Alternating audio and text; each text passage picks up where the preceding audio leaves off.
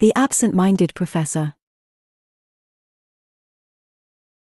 In the peculiar town of Bumbleville lived Professor Luke James, an absent minded genius. His daily struggle was finding his denticles. One day, he forgot them and entered his class with a toothless grin, unintentionally turning his lecture into a comedy show. Students couldn't control their laughter, and one even tossed fake dentures onto his desk.